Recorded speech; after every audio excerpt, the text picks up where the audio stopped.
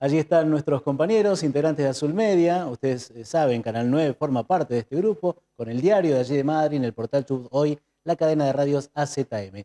Facundo Mures, ¿cómo estás? Buenas noches. ¿Qué tal, Martín? Buenas noches, buenas noches para el equipo. Por acá todo muy bien, ¿cómo están ustedes? Todo bien, todo muy tranquilo, semana de Navidad, pero con bastante información. Allí, Madrid, ¿cómo está? ¿Movidito? Sí, sí, un día agradable, temperatura sumamente agradable eh, casi, va casi verano, no, ya estamos en verano, así que acorde a, la estación del año en la que nos encontramos. Muy bien.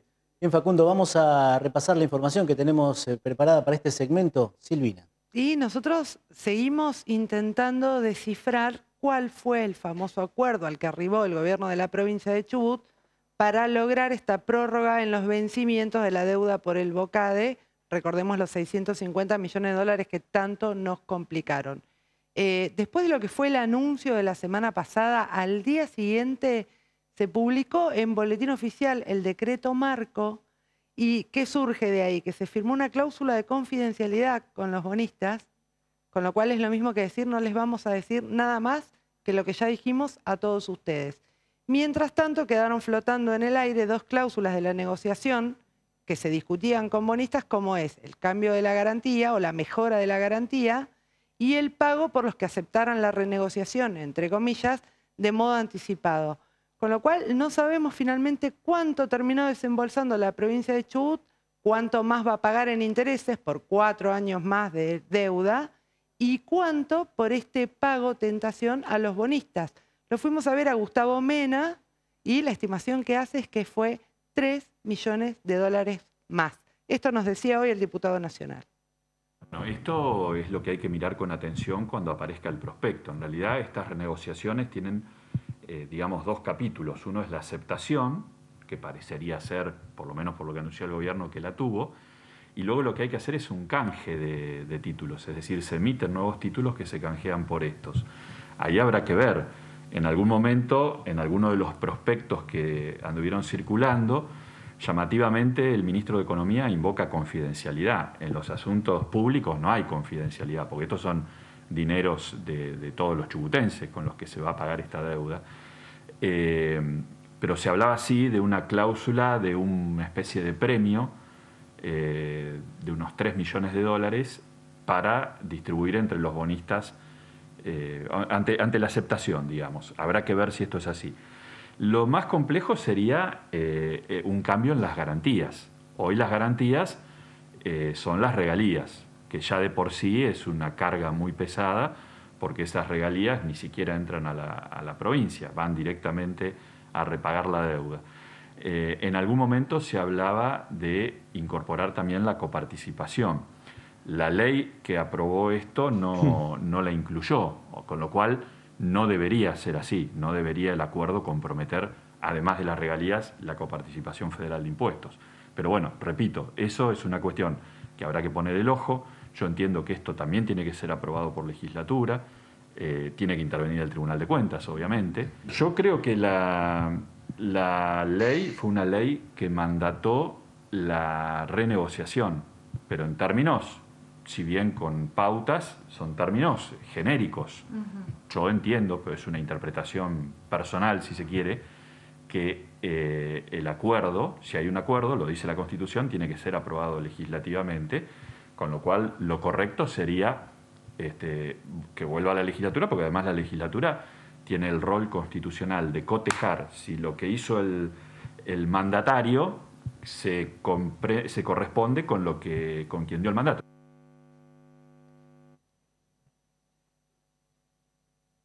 Bueno, ahí estaba el diputado nacional de Juntos por el Cambio, Gustavo Mena, tratando de desandar qué más va a implicar esto para nosotros, más allá del ahorro o el alivio que implique para la gestión de Mariano Arcioni. Atención con lo último que decía, que era esto de que debería volver a legislatura y que se refrende ese convenio hecho con bonistas, sobre todo teniendo en cuenta lo que mencionaba en la apertura, que es que esto ya fue publicado en boletín oficial, sin más detalle que esto de la confidencialidad no sé cómo lo analizás vos, Facundo. ¿Qué tal? Sí, buenas noches, primero te saludo. Y yo un análisis muy similar al que hace el diputado nacional. Primero, la publicidad de los actos eh, de gobierno es algo que debería darse. Y lo otro, o sea, la presentación del tema que refiere a cuánto pagó provincia a los tenedores de bonos para que puedan aceptar, creo que lo podemos enmarcar en eh, todos esos lineamientos que nosotros hablábamos meses, semanas atrás, en la que decíamos, va a ser muy difícil que un eh, tenedor de un bono de deuda de Chubut acepte renegociar la deuda si no le mejora las condiciones, porque él está muy tranquilo con la posibilidad de cobrar las regalías antes que las cobre provincia.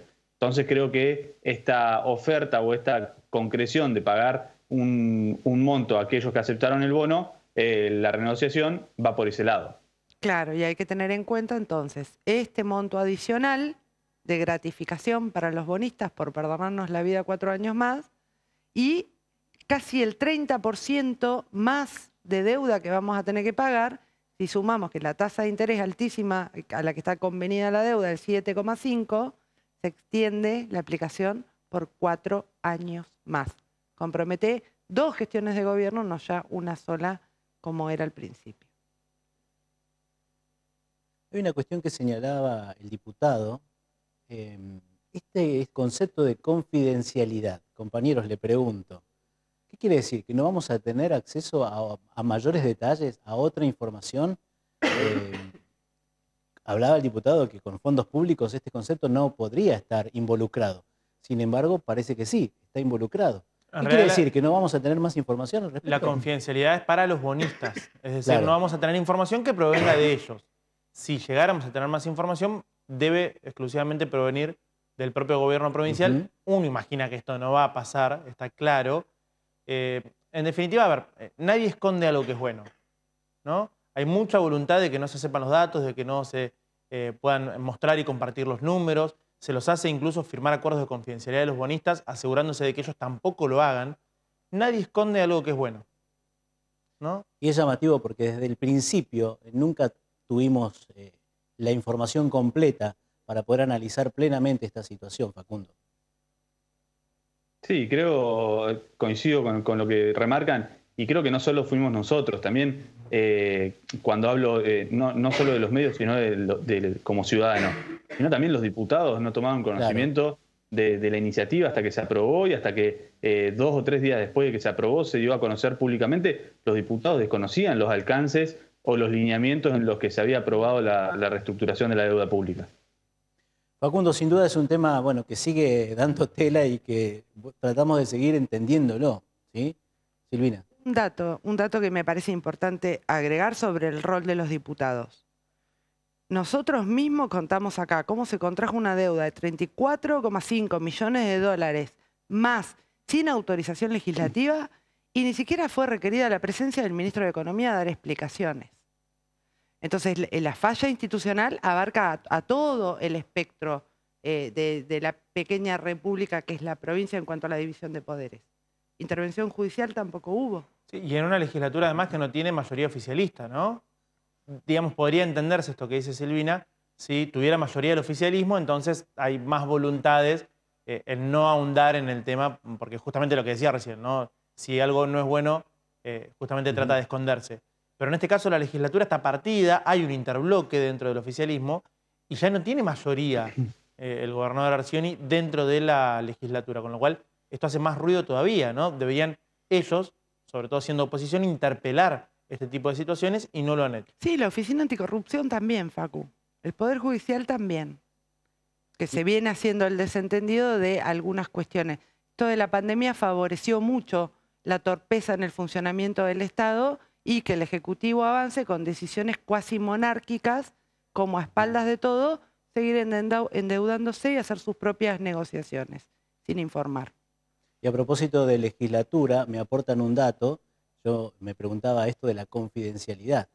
Bueno, el dato es que debería estar eh, previsto por ley esa confidencialidad, o sea que debería haber pasado también por el ámbito legislativo seguimos sumando dudas e interrogantes en esto, Facundo. Sí, sí, el, análisis de, la deuda pública eh, lo venimos tratando hace ya seis meses aproximadamente, no recuerdo bien eh, con exactitud, pero hace ya largos meses y creo que va a seguir dando eh, tela por cortar todos los efectos que va a generar en la situación de la provincia, sobre todo en lo que tiene que ver con la economía y las finanzas. Claro que sí, Facundo. Y bueno, estaremos atentos nosotros a tratar de seguir encontrando información para poder contarle a la gente.